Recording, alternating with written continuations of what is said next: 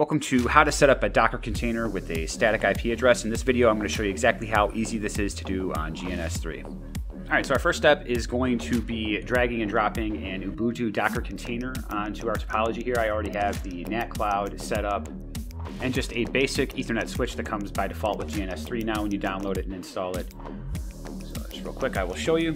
All right, so here is the Ubuntu Docker guest. This will be on there by default.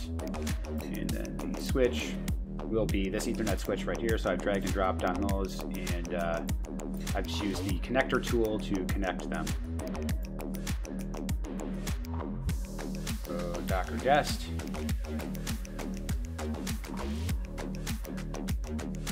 And I do have snap to grid enabled right there, so that's how I get the even spacing and make everything line up. And I'll connect Ethernet 0 to Ethernet 1. Now I'm going to click on here to start all nodes, and since we only have one, it's only going to impact that one. I'm going to deselect the connector tool. The next thing I'm going to do is open the console for all nodes, which is just going to be only one.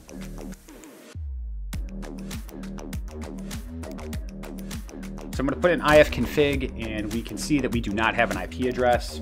All right, so now in order to configure a static IP address, I'm going to use the nano editor in the interfaces folder.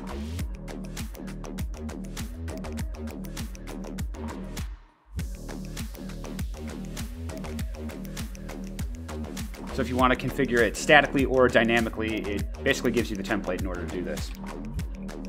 So I'm just going to uncomment this out.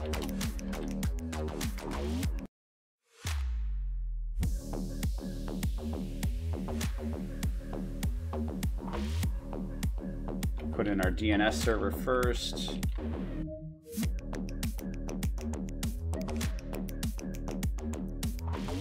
And I'm just going to give it the .35 in this subnet. And I know that the default gateway of the NAT cloud is going to be that IP address. And then I'm just going to hit Control X. It's going to ask me to save, so I'm going to hit Y. In that folder, yes, hit Enter. And in order to get it to take that interface configuration, I'm going to stop and start it, opening up the console. All right, then we can see with ifconfig that we now have an IP address.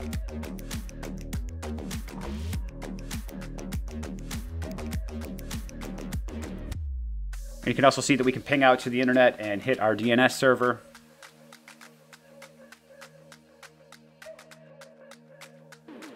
And we're also able to resolve domain names.